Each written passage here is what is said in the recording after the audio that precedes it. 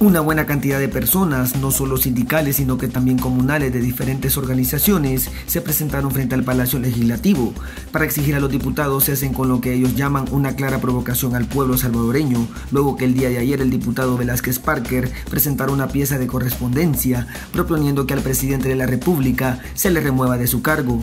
Nosotros es una clara provocación como pueblo salvadoreño la acción que el día de ayer tomaron los diputados de la Asamblea Legislativa es una clara provocación porque lo que pretenden es generar una crisis y un caos a puertas a 18 días del proceso electoral.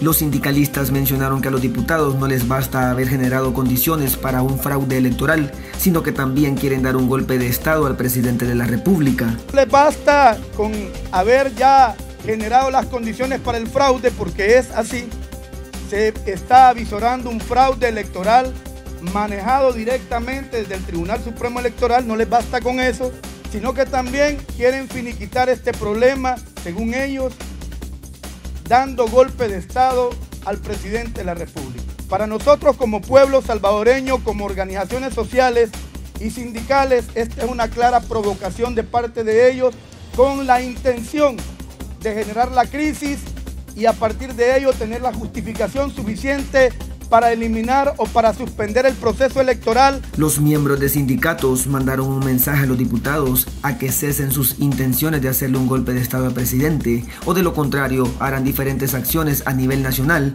en contra de ellos. No queremos empezar acciones a nivel nacional en contra de estos diputados.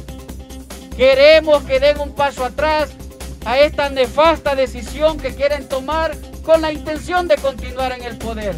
Vamos a estar en pie de lucha para que vean que realmente al pueblo y a la clase trabajadora se le respeta.